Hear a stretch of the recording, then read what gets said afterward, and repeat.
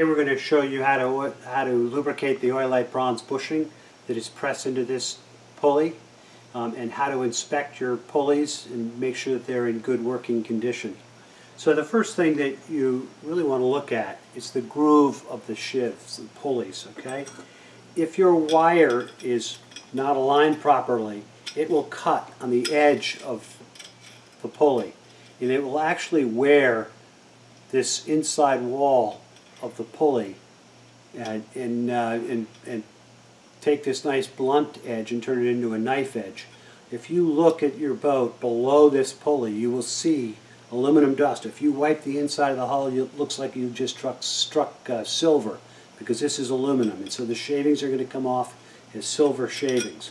So you want to make sure that the wire is nestled nicely into the center line of the groove of the pulley. So taking a, a sheave part is, uh, is relatively easy. You've got cotter pins, and so you take a Leatherman and you straighten out the legs of the cotter pin.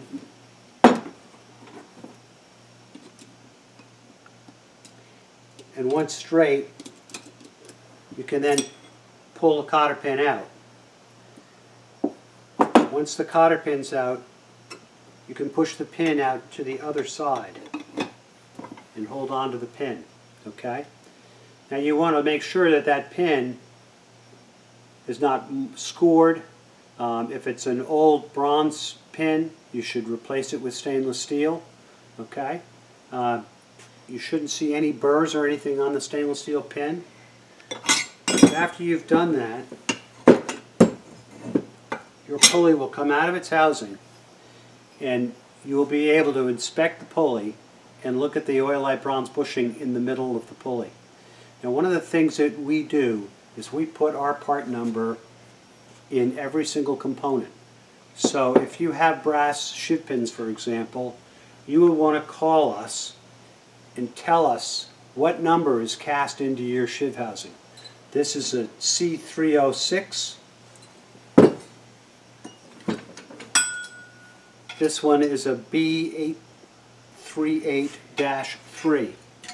That will tell us exactly how long this pin needs to be because it's critical that these cotter pins go into the sheave housing and lock into position in these cast-in nubs. So when you go to put your pulley back in, you're going to drop it in place. You're going to slide it in from one side this is after you've cleaned and, and uh, put some oil on the oilite bronze bushing. You slide this into place so that the cotter pin is captive in these nubs that are cast in. You want the sheave to spin on the pin. You do not want the pin to spin in the housing. So that's why these are here. It's to lock the cotter pin which holds the sheave pin in place. Then you go to the other side and you put the cotter pin in on the other side. Push it all the way in and then bend over the tip of it. It doesn't have to be curled around or anything of that nature, but it, a bend uh, that's good enough so that it will not come out on its own. Something like this right here. But again, if you give us the part number, uh, we'll know what you're looking at and we can help you over the phone uh, in great detail. This is an idler system where the it goes underneath your, your pedestal. Your wire and chain, your wire comes down, your, which is attached to the chain, and it runs around this pulley and it runs underneath this sheave guard which holds the lazy wire, keeps it from coming out of the groove. So if you look at it from here, that's its job, is to hold that wire up in case it's not tensioned properly at the other end. Your chain would be up above this and it would travel down through this hole, through this grommeted hole, back to your radial drive wheel. Cotter pins come out the exact same way as, as they did in the 6 inch sheave. You've got nubs that hold that cotter pin into position so that it's easy to bend the legs over.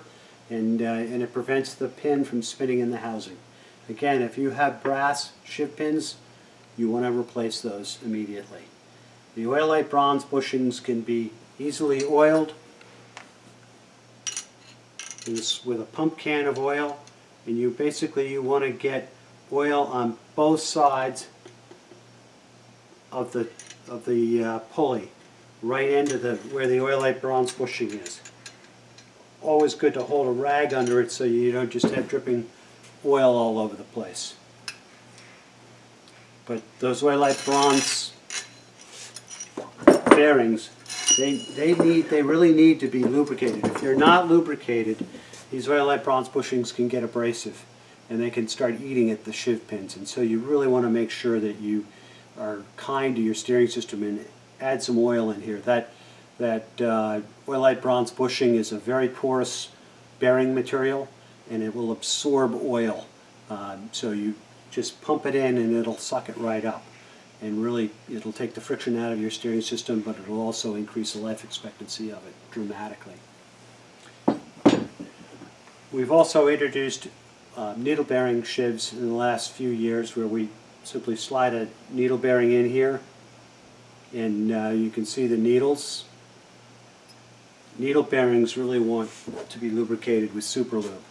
So you want to take this pulley out, you want to push the the uh, needle bearing out. It's a cage needle bearing, so it shouldn't be falling apart on you. You want to clean it up, get the old grease off, put some new grease on, slide it into position, add a little bit more grease, and then put the pin through it.